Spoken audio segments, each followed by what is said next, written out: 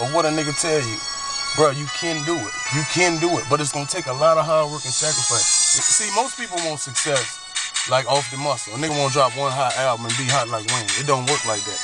Wayne number one, cause Wayne stay in the goddamn studio. You know what I'm saying? He might not even be the best nigga rapping, and he probably know that. But he the best nigga doing it. You know, you might be sweeter than Wayne, but nigga, you ain't on wax like Wayne. You feel me? You know what I'm saying? I don't mean to name drop on niggas, but I'm just saying just to show you that type of mentality, man. You got to live this. You got to breathe this. Man, it be going, it be days I go back, I don't even eat. I be up two, three days in a row and not on no drugs. You know what I mean? Just from my motivation to wanna live this motherfucking dream. Hey man, you ain't got but one motherfucking life. Tomorrow ain't coming back. You feel me? Believe Shit, that. it's all about the day and the days that come before this, man. If you ain't got no motherfucking money, you in the way. Believe that. You you a nobody, man. You don't even exist when you don't have money, man. You a lame. You don't even count as part of the population.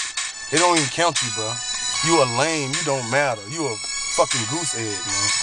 And I did all big numbers to get back to the most important number, and that's number one. I ain't really got nothing else to say. You can check my stats. Believe that. Real nigga shit.